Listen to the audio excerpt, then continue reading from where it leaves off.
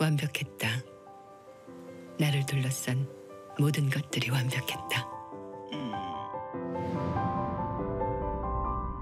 이제부터 이태호가 사랑하는 여자는 지선우 하나뿐이거든. 근데 거짓말은 용서 못해. 그건 진짜 배신인 거야.